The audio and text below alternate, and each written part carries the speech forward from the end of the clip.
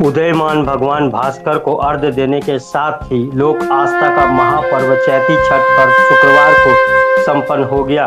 सुबह से ही अर्घ्य देने के लिए घाटों पर आस्था का सैलाब उमड़ पड़ा। नहाए खाए के साथ शुरू हुआ छठ पर्व शुक्रवार को उदयमान सूर्य को अर्घ्य देने के साथ संपन्न हो गया।